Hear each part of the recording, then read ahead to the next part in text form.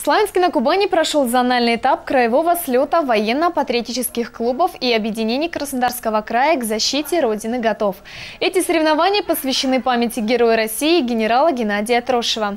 У воинской доблести, примерах стойкости, патриотизме и любви к родине и о том, как стать настоящим солдатом, узнавали наши корреспонденты.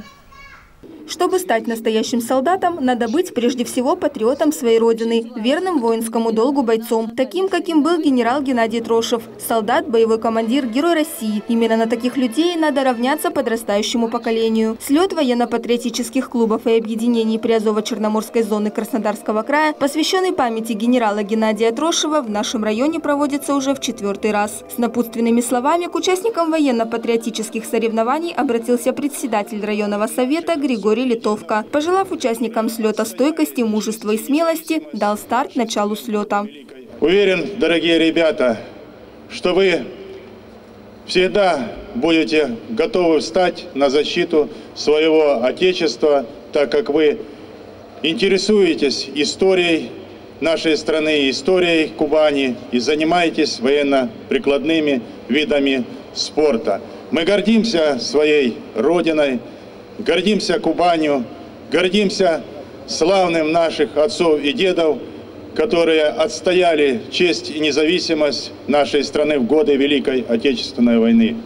В митинге в честь открытия соревнований приняла участие дочь легендарного генерала, руководитель фонда имени Трошева Наталья Белокобыльская. Слет он проводится, изначально был заложен Славянский на Кубани. Теперь он приобрел статус э, зонального, зонального теперь уже краевой. Поэтому мне очень приятно, что движение это идет и движется, потому что посмотрите, какая у нас замечательная молодежь. Она не только спортивная, она не только а, умная у нас, она не только талантливая, она еще и целеустремленная. А это очень сейчас важно.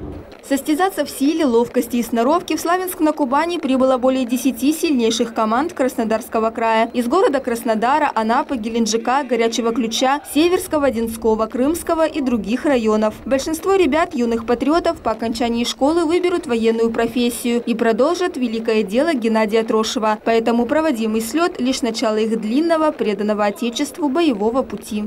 Мы готовимся к защите Родины и как общее физическое развитие. Мне это интересно, всем нам это интересно.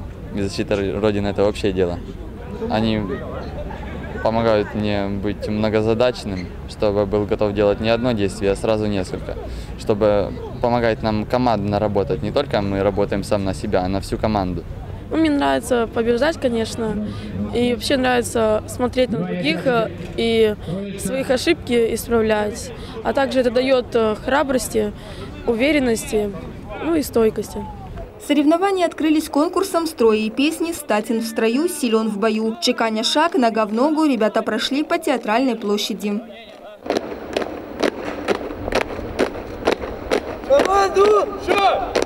После окончания строевой подготовки ребята отправились в Славянскую автошколу ДОСААФ. Там их ждал комбинированный военно-спортивный кросс. Молодые патриоты на скорость преодолевали препятствия. На время разбирали и собирали автоматы, метали гранаты и стреляли по падающим мишеням. Показали знания и эрудированность в военно-историческом конкурсе. Преодолеть и выполнить все эти непростые задания надо было за максимально короткое время. Все юные патриоты получили памятные медали и грамоты. Ну а каждый участник – массу впечатлений, а главное – бесценный опыт, который при пригодится им в дальнейшей жизни. В общем зачете наша команда заняла второе место. Победителям были вручены грамоты, призы и книги. В сердце своем храним от Фонда патриотического воспитания имени Геннадия Николаевича Трошева. Команды, занявшие призовые места в зональном конкурсе, примут участие в финале краевого слета, который пройдет в Крымске 6 ноября.